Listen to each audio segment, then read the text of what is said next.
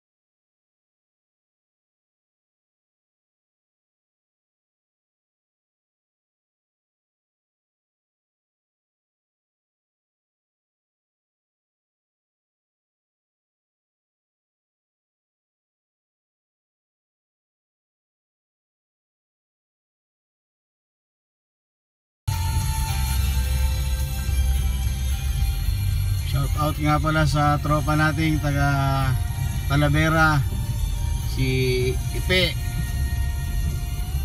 Mabuhay ka.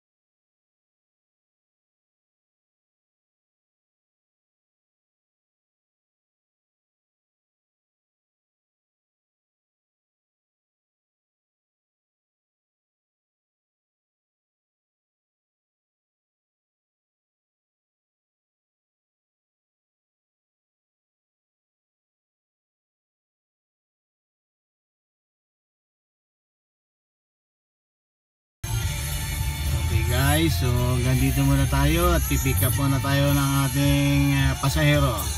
Maraming salamat.